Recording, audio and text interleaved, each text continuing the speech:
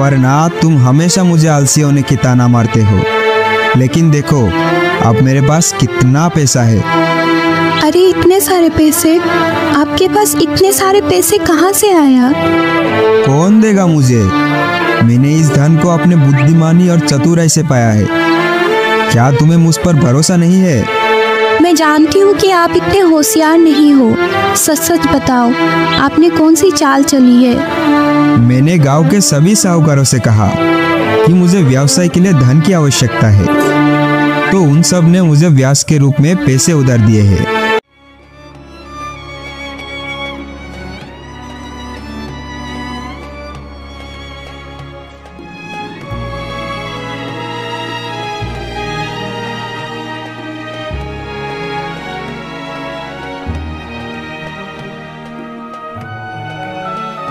Hello दोस्तों, जैसा कि हमने वीडियो क्लिप के अंदर देखा, वही एनिमेशन को क्रिएट करने वाले हैं। चलिए शुरू करते हैं। मेरा नाम है कमलेश यादव, आप देख रहे हैं बेस्ट टिप्स यूट्यूब चैनल जिस पर आपको moral cartoon horror cartoon birds cartoon बनाने के इमान ट्यूटोरियल मिलते हैं। तो आज की इस वीडियो के अंदर हम सीखेंगे कि किसी भी करेक्टर्स के अंदर कस्टम ऑब्जेक्ट किस तरीके से दिया जाता है। मान लीजिए कि हमें किसी भी करेक्टर्स के हाथ में पैसे देने हैं तो पैसे को किस तरीके से एक्सचेंज नहीं कर रहे हैं?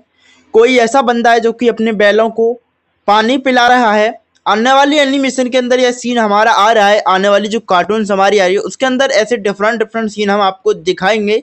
वह प्लस सिखाएँगे तो आज की इस वीडियो में एक नॉर्मल सा सीन हम क्रिएट करेंगे कि किस तरीके से बंदा कस्टम करेक्टर को इंपोर्ट करेगा एंड किस तरीके से उनका यूज़ करके प्रोफेशनल कार्टून में जान डालने की कोशिश करेगा।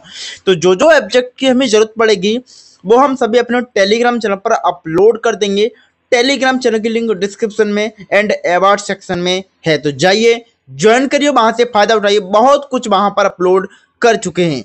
तो आपको या तो पिक्सल लैब की ज़रूरत पड़ेगी, या फिर आप आई एक्स एप्लीकेशन का यूज़ कर सकते हैं। किसी भी एप्लीकेशन का यूज़ करिए, फ़र्क कोई भी पड़ने वाला नहीं है। तो फ़िलहाल हमने आई एक्स एप्लीकेशन को ओपन कर लिया है। माई गैलरी बटन इस पर क्लिक कर देना है। यदि ऑब्जेक्ट बनाए हैं तो दिखेंगे, नहीं बनाए तो नहीं दिखेंगे। यहाँ प्लस कॉर्नर में बटन है प्लस बटन पर क्लिक कर देना है। क्लिक करने के बाद साइज़ साइज़ कौन सा रखें?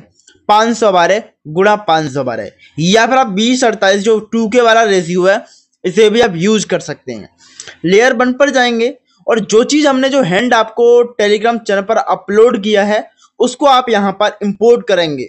हमारा जो कस्टम हैंड है, वो हमने इंपोर्ट कर लिया है।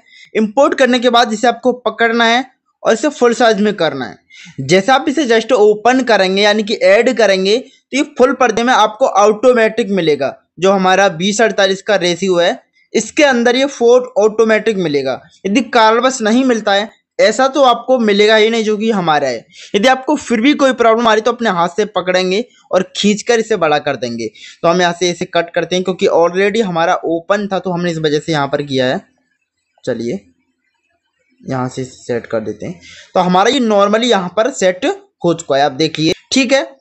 अब यहाँ पर ये यह हमारा जो पर्दा के अंदर जो हमारा हैंड है, वो इम्पोर्टेड है, कोई दिक्कत नहीं आता अब आपको लेयर वन पर चले जाना है, इसको यहाँ पर लेकर आना है, और दूसरी लेयर पर जिस करेक्टर्स के हाथ में चाहे बाल्टी हो, या फिर कोई और वस्तु हो, या फिर ग्रास ही क्यों ना हो, जो भी करना है वो आप इस तरीके से जाएँगे।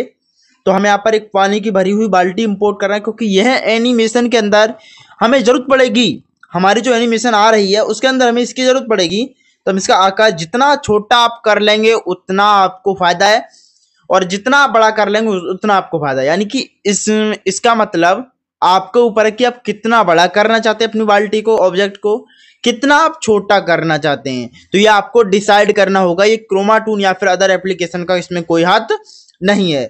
तो हम इसे छोटा कर लेंगे और यहाँ पर। जो रेड पॉइंट दिया गया है, वहाँ पर इस वाल्टी के जो ही है, पकड़ने वाला, इसको हम यहाँ पर इस तरीके से, ऐसे करके सेट कर देंगे। एंड सेट करने के बाद आपको ओके करना है। और ओके करने के बाद, मेरे प्यारे भाई कैंसिल कर देना है। और कैंसिल करने के बाद जो हमने हैंड वाला पीएनजी लिया था इसको यहाँ से अनटिक कर देना है। अनटिक करने के बाद आपको सेव बटन पर जाकर के सेव इमेज पर क्लिक कर देना है। ध्यान है कि यह जो ऑप्शन हमारे ओपन है, इनको ओपन करके रखना है। यदि आप इस तरीके से करेंगे तो आपके हाई क्वालिटी रेजोल्यूशन जो हाई रेजोल्यूशन उसके अंदर आपका जो इमेजेस है, वो सेव होगा। टाइम तो लगेगा क्योंकि दो चार गुना यहाँ पर स्पीड आपकी इंक्रीजिंग हो रही है तो टाइम तो इन्वेस्ट करना पड़ेगा, लेकिन हाई क्वालिटी में आपका इमेज इंपोर्ट होगा। सभी ध्यान रखें, जब भी आप बीजी को बनाए तो इन चीज़ों को इंपोर्ट कर लें सॉरी ओपन कर लें। इसे सेव होने के बाद हम चलते हैं।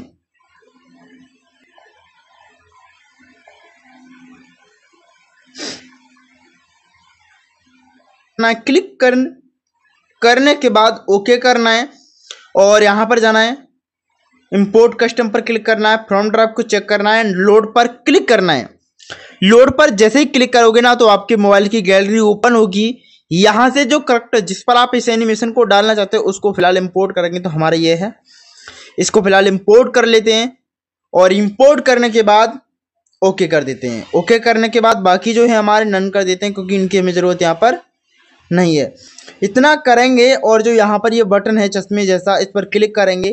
फ़र्स्ट में है तो फ़र्स्ट में करेंगे। यानी फ़र्स्ट करेक्टर हमने फ़र्स्ट नंबर पर ऐड किया है तो फ़र्स्ट में ही ऑब्जेक्ट हमारा ऐड होगा।